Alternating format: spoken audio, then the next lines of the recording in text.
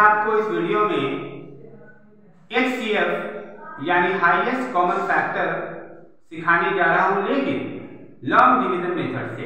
तो आइए सीखें लॉन्ग डिवीज़न मेथड से हाईएस्ट कॉमन फैक्टर को कैसे बनाया जाता है, कैसे फाइंड आउट किया जाता है ओके तो देखिए, यहाँ पर मैं लिख रहा हूँ लॉन्ग डिवीज़न मेथड ठीक है? इससे आपको निकालना है क्या? यानी इस मेथड से निकालना है आपको एचसीएफ सपोज़ कीजिए कि एचसीएफ आपको निकालना है 15 और 18 का राइट तो फिर कैसे फाइंड आउट करेंगे? 15 और 18 का एचसीएफ लॉन्ग डिवीज़न मेथड से। तो इसके लिए मैं पहले इस तरह का लाइन ड्रॉ करूँगा और यहाँ पर लिखूँगा 15 और यहाँ पर लिखूँगा 18 और उसके बाद फिर मैं ये देखूँगा कि वह कौन सा छोटा से छोटा प्राइम नंबर है। जो दिए गए नंबर को पूरी तरह से डिवाइड कर दे। दिया हुआ नंबर कौन है? 15 और 18 अगर कोई और भी नंबर होता तीसरा चौथा पांचवा तो वो सारे को डिवाइड करे एक साथ। ठीक है? ये सबसे इंपॉर्टेंट है कि दिया हुआ जो भी नंबर है वो सब का सब डिवाइड होना चाहिए उस सबसे छोटे प्राइम नंबर से।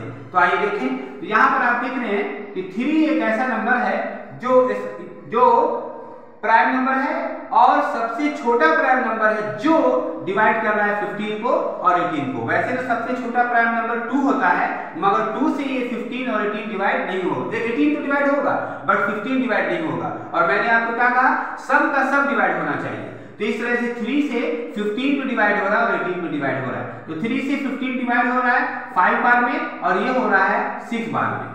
फिर उसके बाद मैं देखूँगा कि वह कौन सा नंबर है, सबसे छोटा, कौन सा सबसे छोटा प्राइम नंबर है जो दिया गया, जिससे दिया गया नंबर दिया गया नॉट जो अभी आया है फाइव और सिक्स ये डिवाइड हो जाए पूरी तरह से। तो आप देखेंगे कि फाइव और सिक्स को कोई भी ऐसा प्राइम नंबर नहीं है जो एक साथ दोनों को डिवाइड करे, जो एक साथ।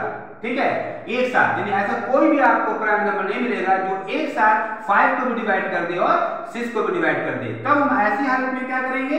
तब लिखेंगे यहाँ पर एचसीएफ और उसके बाद जो देख रहे हैं लेफ़्ट साइड में देख रहे हैं क्या है? थ्री है। तो यहाँ पर हम थ्री को लिख देंगे और राइट साइड में फाइव और सिक्स है, इसको हम नहीं लिखेंगे, ठीक है? और उसके बाद अगर इस थ्री के नीचे कोई और भी प्राइम नंबर होता तो उसको भी यहाँ पर लिखते और मल्टीप्लाई करते। लेकिन यहाँ पर अकेला है सिंगल है थ्री इसलिए यही थ्री जो होगा, वो एस्केप हो जाएगा 15 और 18 का।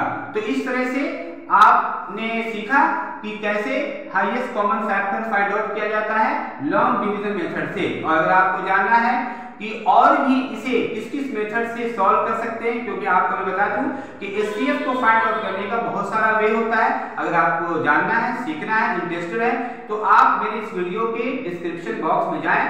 वहाँ आपको लिंक मिल जाएगा। दूसरे तरह से बनाने का एस को। तो अगर आप वहाँ जाकर आप क्लिक करेंगे तो आप सीख जाएँगे कि और भी कितने कितने तरह से, किस किस तरह से आप हाईएस्ट कॉमन फैक्टर को फाइंड आउट कर सकते हैं। तो आई होप कि आपको समझ में आया होगा इस वीडियो में जो भी मैंने आपको सिखाया और बताया। Okay alright students